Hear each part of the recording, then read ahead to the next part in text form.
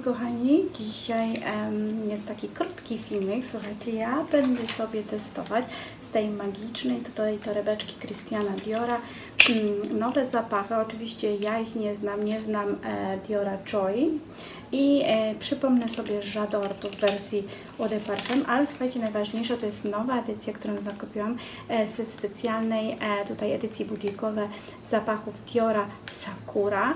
I słuchajcie, mam też oczywiście pełnowymiarowe, tutaj piękne pudełeczko, jeszcze nie otworzone, bo właśnie jest taka edycja, że zamawiacie nowy zapach, a pojawiły się 40 z takich zapachów specyficznych, niszowych, właśnie butikowych Diora i ja nie mogłam się oprzeć.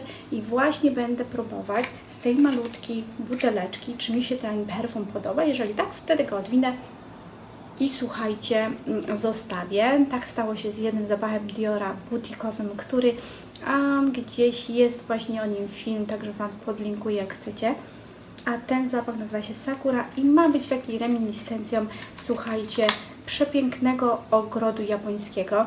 Ja Wam koniecznie zdam e, relację, także jeżeli jesteście ciekawe, to oczywiście e, zostacie ze mną, zaskrup, zaskrupujcie tutaj mój kanał i oczywiście mm, polajkujcie. A ciekawa jestem, czy ktoś z Was już ten zapach miał. Buteleczki są przepiękne, także koniecznie obejrzyjcie odcinek, który niedaleko się pojawi na moim kanale.